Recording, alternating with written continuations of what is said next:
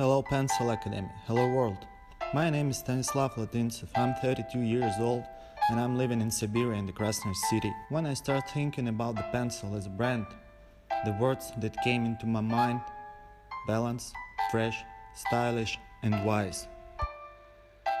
That's why I took inspiration from the main designer of the world, nature. The soul of my concept inspired by wind curves on the snow caps and the river loops. Upper of the shoe inspired by pine's bark and their crowns growing up in the sky and how they're holding on the mountains. The serpentine on outsole shows that we don't look for easy ways. We are in search of better ways. Here it is, the Paysage sneaker. Stylish, durable and balanced. The Pensole logo on the sole shows where it's all started, from the single line.